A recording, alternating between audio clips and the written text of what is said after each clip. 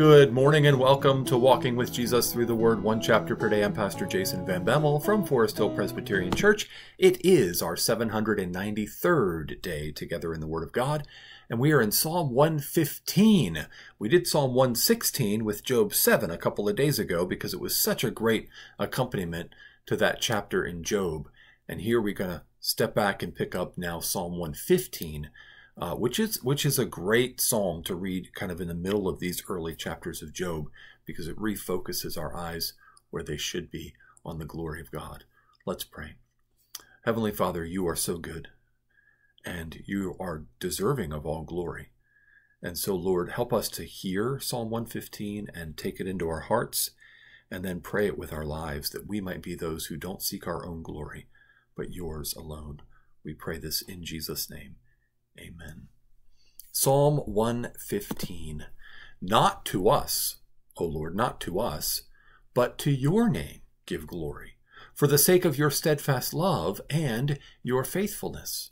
Why should the nations say, Where is their God? Our God is in the heavens. He does all that he pleases. Their idols are silver and gold, the work of human hands. They have mouths, but do not speak eyes but do not see. They have ears but do not hear, noses but they do not smell. They have hands but do not feel, feet but do not walk, and they do not make a sound in their throat. Those who make them become like them, so do all who trust in them. O Israel, trust in the Lord. He is their help and shield. O house of Aaron, trust in the Lord. He is their help and shield. You who fear the Lord, Trust in the Lord. He is their help and shield. The Lord has remembered us. He will bless us. He will bless the house of Israel. He will bless the house of Aaron. He will bless those who fear the Lord, both the small and the great. May the Lord give you increase, you and your children. May you be blessed by the Lord, who made heaven and earth. The heavens are the Lord's heavens but the earth he has given to the children of man. The dead do not praise the Lord, nor do any who go down in silence.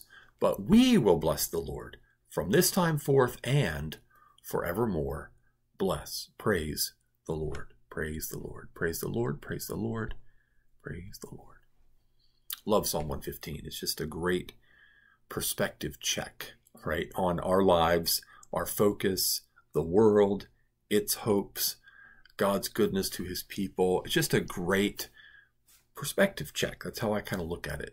Uh, and so, what, what are the things that we're tempted to lose focus? We're tempted to lose focus by looking at ourselves and thinking with self pity or um, self promotion or self satisfaction or something like that, some sort of self orientation, right? And so, this opening line is great to correct us from that.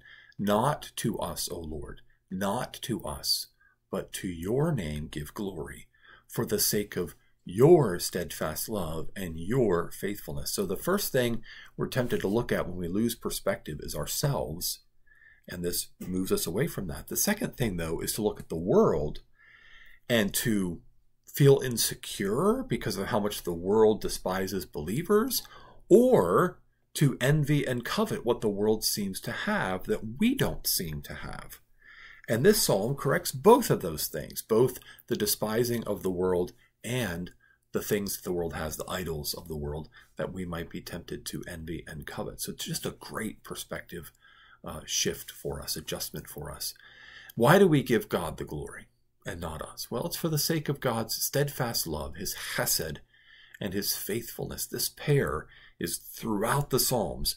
We give thanks to God, we give praise to God, we give glory to God because of these two things over and over again God's steadfast love and his faithfulness. His steadfast love is his heart toward his own, his heart toward his people.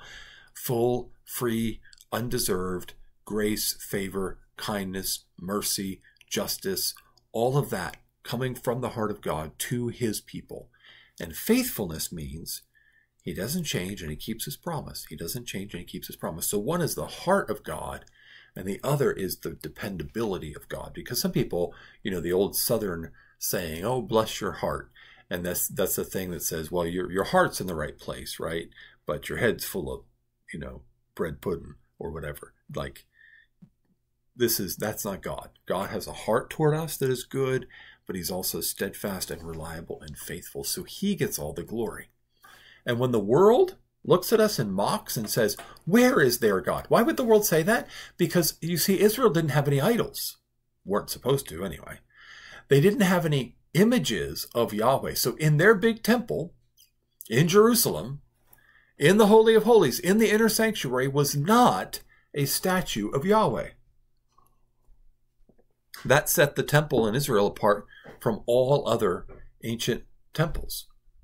All other ancient temples when you got to the middle of the temple, to the holy place, the sanctuary, the inner sanctum, there was a there was the God, the God they were worshiping, right? A big statue of that God. No such statue in the heart of the temple in Jerusalem. And so the nations would say, Where is their God? Look, there's your temple, the house of your God. You go inside, and there ain't no God. Where's your God? And the answer is, Our God is in the heavens he does all that he pleases. You see, we can't reduce God down to an image. This is why the second commandment forbids the making of images of God, because we cannot reduce God down to an image. That's that's just wrong. God is so much greater than that. Our God is in the heavens and he does all that he pleases. Period. And so how does that compare to their gods? Well, their gods are just idols. They're just the work of human hands. They have mouths, eyes, ears, noses, hands, feet, sure. But they can't speak or see or hear or smell or feel or walk or talk or do anything. And verse 8 is a stunning indictment. Those who make them become like them, so do all who trust in them. Idol makers and idol trusters become as lifeless and dumb and deaf and blind and helpless as the idols they make and trust in. Wow, that is a stunning condemnation of the idolatry of the world, but it's the truth. God always speaks the truth, even when it's not really what we want to hear, doesn't he? Because he's faithful. His faithfulness speaks the truth to us. So whenever we're tempted to covet the things in the world, just remember the money the world offers, the fame the world offers, the power the world offers, the things the world chases, they don't really make us alive. They're not alive themselves, and they don't make us alive. In fact, if we give our hearts to them, they'll kill us. What should we do instead? We should trust in the Lord. This call here, House of Israel, is the whole of God's people house of Aaron are the priests ministering in the temple. For us, all believers are priests under our high priest, the Lord Jesus Christ. And so it's a call to all of us. We trust in the Lord because he is our help and our shield. He's the one who helps us when we're in trouble, and he's the one who protects us from danger. Now, we're, we're reading Job, right? This is a great psalm in the middle of Job because Job helps us to understand how not to interpret this. To say that the Lord, Yahweh, is our help and our shield doesn't mean we're never going to face problems. Doesn't mean nothing bad will ever happen to us. It means that we can trust God, that He has good purposes, even when bad things happen, and that we can trust Him more than what our eyes can see. The Lord has remembered us, He will bless us, he will bless all of his people, those who fear the Lord, both the small and the great. You may be obscure and insignificant, but God will bless you. God will bless you according to his steadfast love and his faithfulness, because he is good. He is the maker of heaven and earth. These idols that the world has, they didn't make anything. They're made by people. You don't worship a made thing you worship the maker of heaven and earth, right? And so the Lord made heaven and earth. That means everything in heaven belongs to God. On the earth, he's he's given human beings dominion over the earth. And so while we're here on earth, we are accountable to the God in heaven who made heaven and earth to live not for our own glory but to his. So we're really cycling back to where we started at the end The heavens are the Lord's heavens, the earth he's given to the children of man. He made heaven and earth, so we should be blessing him, we should be praising him from this time forth and forevermore. So here's the perspective check.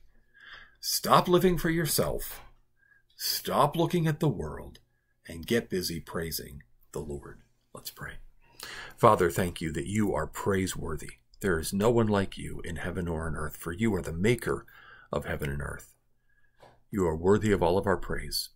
Help us to praise you with all of our heart, mind, soul, and strength. In Jesus' name, amen. Amen. Thanks so much for joining me for Psalm 115. I hope you have a blessed day in the Lord.